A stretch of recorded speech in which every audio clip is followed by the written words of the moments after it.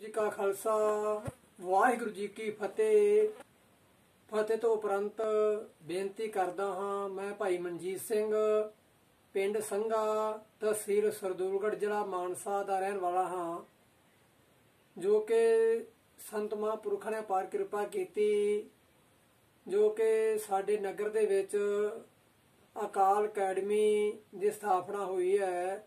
ਸੰਤ ਮਹਾਂਪੁਰਸ਼ ਬਾਬਾ ਗੁਰਕਬਾਲ ਸਿੰਘ ਜੀ ਬੁੜੂ ਸਾਹਿਬ ਵਾਲੇ ਕਲਗੀਧਰ ਟਰਸਟ ਬੜੂ ਸਾਹਿਬ ਜੀ ਵੱਲੋਂ ਵਿਸ਼ੇਸ਼ ਉਪਰਾਲਾ ਕਰਕੇ ਜੋ ਕਿ ਮਾਈ ਭੋਲੀ ਸਕੀਮ ਦੇ ਅਧੀਨ ਮੇਰੀ ਬੱਚੀ ਗੁਰਲੀਨ ਕੌਰ, ਜੋ ਕਿ 7ਵੀਂ ਕਲਾਸ ਵਿੱਚ ਵਿਦਿਆ ਪ੍ਰਾਪਤ ਕਰ ਰਹੀ ਹੈ, ਮੈਂ ਬਹੁਤ ਸ਼ੁਕਰਾਨਾ ਕਰਦਾ ਹਾਂ ਅਤੇ ਅਕਾਲ ਪੁਰਖ ਦੀ ਬੇਨਤੀ ਕਰਦਾ ਹਾਂ ਕਿ ਇਸੇ ਤਰ੍ਹਾਂ ਸਤਿਗੁਰ ਜੀ ਇਹ ਸੰਸਥਾ ਤੇ ਮਿਹਰ ਭਰਿਆਤ ਰੱਖਣ, ਦਿਨ ਦੁਗਣੀ, ਰਾਤ ਚੌਗਣੀ ਤਰੱਕੀ ਬਖਸ਼ੇ ਕਰਨ ਜੋ ਕਿ ਸਾਡੇ ਪਛੜੇ ਇਲਾਕੇ ਨੂੰ ਮਹਾਂਪੁਰਖਾਂ ਦੀ ਦੇਣ ਦੇ ਸਦਕਾ ਅੱਜ ਸਾਡੇ ਬੱਚੇ ਗੁਰਬਾਣੀ ਨਾਲ ਜੁੜ ਰਹੇ ਹਨ।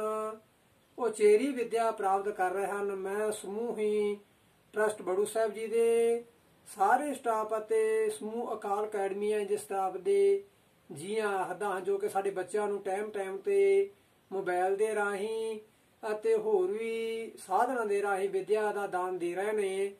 ਸੋ ਸਤਿਗੁਰੂ ਜੀ ਕਿਰਪਾ ਕਰਨ, ਮਿਹਰ ਭਰਿਆਤ ਰੱਖਣ, ਚੜ੍ਹਦੀ ਕਲਾ ਬਖਸ਼ ਕਰਨ। ਵਿਸ਼ੇਸ਼ ਤੌਰ ਤੇ ਫੇਰ ਦੁਬਾਰਾ ਬਹੁਤ ਬਹੁਤ ਧੰਨਵਾਦ ਕਰਦੇ ਹਾਂ। ਸਤਿਗੁਰੂ ਜੀ ਕਿਰਪਾ ਕਰਨ, ਮਹਾਂਪੁਰਖਾਂ ਦੇ ਦੇਹ ਰੋਤਾ ਬਖਸ਼ ਕਰਨ ਔਰ ਸਤਿਗੁਰੂ ਦੀ ਚੜ੍ਹਦੀ ਕਲਾ ਬਖਸ਼ ਕਰਨ। ਵਾਹਿਗੁਰੂ ਜੀ ਕਾ ਖਾਲਸਾ, ਵਾਹਿਗੁਰੂ ਜੀ ਕੀ ਫਤਿਹ।